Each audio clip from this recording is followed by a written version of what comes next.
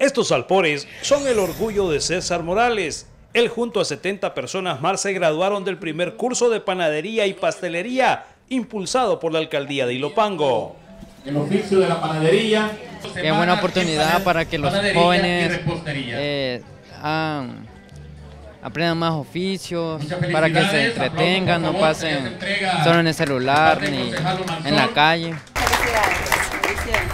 Son jóvenes mujeres y adultos residentes en zonas de alto riesgo y que hoy tienen una oportunidad para mejorar sus condiciones económicas, asegura el alcalde de Ilopango, Salvador Ruano. Esas manos artesanas que a pesar de las dificultades que tiene nuestro país y nuestro municipio, no se rinden y le pedimos a Dios que como decía el santo Juan Pablo II, podamos convertirnos todos en artesanos de la paz y artesanos de ricos pasteles y bocaditos de lo que hoy vamos a degustar en unos momentos.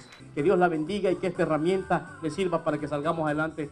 Jacqueline Arevalo también recibió su diploma. Ella considera que el esfuerzo valió la pena.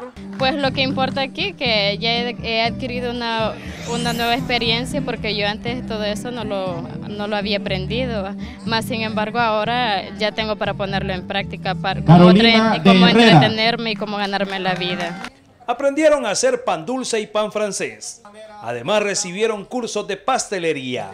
Esta es una pequeña muestra de la capacidad que tienen los salvadoreños para aprender y crear.